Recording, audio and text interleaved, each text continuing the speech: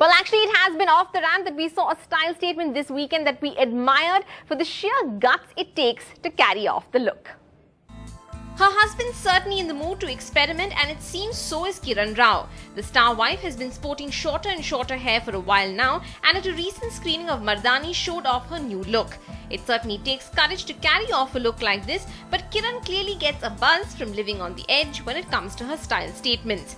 Aamir and Kiran were also accompanied by Aamir's daughter Ira. Recently, Kiran shared that she was more open to taking fashion risks with her fitter, more athletic figure.